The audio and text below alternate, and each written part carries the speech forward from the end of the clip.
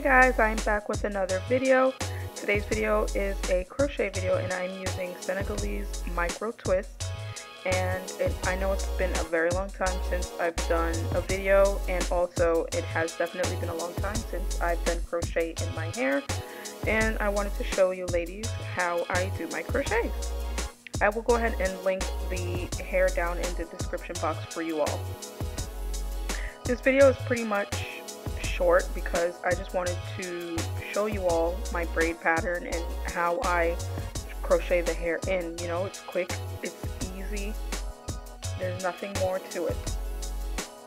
So I hope y'all enjoyed the video. Make sure you hit that subscribe button if you're new here. As always, stay safe, stay blessed, and I will see you all in my next one. Bye!